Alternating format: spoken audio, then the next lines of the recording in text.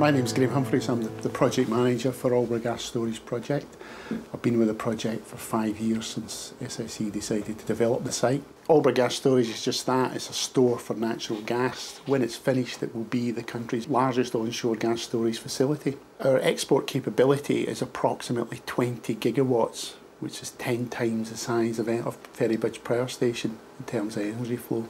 So it makes it quite big it can provide enough gas for about 10% of the country's peak day. In 1993, British Gas drilled a trial well here at Aldbrough to ensure that the salt was suitable for gas storage development.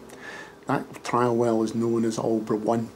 It was drilled in 1993 using traditional vertical drilling techniques, so the wellhead is located directly above the cavern for the remaining eight caverns at Aldbrough, we've elected to use a technique called directional drilling. So the caverns are spaced at 450 metres between centres around the site, but all the remaining wellheads are located together on the east side of the site. The advantage of doing that is that you don't have satellite wellheads around the countryside connected by surface pipework to the, to the uh, central processing area. So it is safer it takes less land and it's more environmentally friendly. Good morning, my name is Mel Chisholm. I work for Scottish and Southern Energy. I'm the project manager's um, assistant and we're here on another wonderful day in Aldbrough to give you a little uh, insight into what we do here. The gas is analysed as it comes in because we need to uh, what they call meet spec. It has to be within a certain set of parameters that are given to us by NG.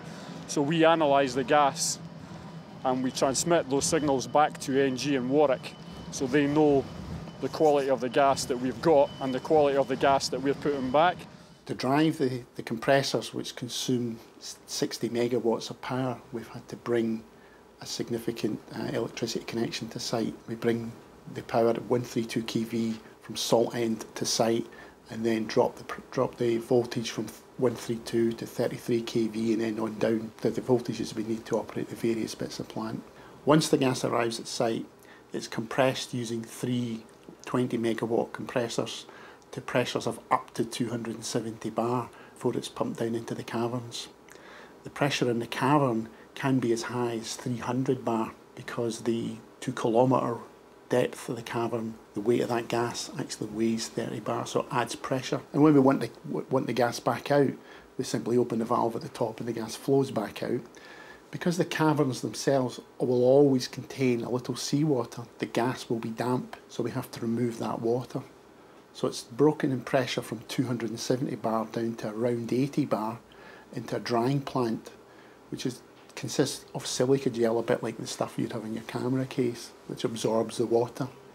Once the water's out, the pressure's further reduced and it goes back onto the national transmission system. I think you have to get in perspective that we're doing something that is intrinsically hazardous. We've got half a million tonnes of gas, which is a lot of gas, in caverns a mile and a bit underground at a pressure of 5,000 psi you have to control that.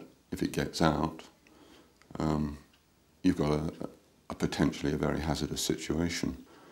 But there's a difference between hazard and risk. We aim to make sure that we do what's a hazardous activity um, safely. It's like flying in an airplane or driving a car. They're both hazardous activities, but we don't think anything of it because the risks are controlled. Process safety is about looking at the, the aims of what you're trying to do and ensuring the way you do it presents the lowest possible risk to, in terms of safety and risk to the environment.